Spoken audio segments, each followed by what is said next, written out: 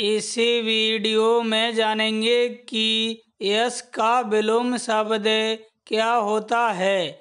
इसका सही जवाब है अपयश। यस का विलोम शब्द अपयश होता है। राजा राम मोहन राय को राजा की उपाधि किसने दी? सही जवाब जानने के लिए वीडियो के डिस्क्रिप्शन में दी हुई लिंक पर क्लिक करें।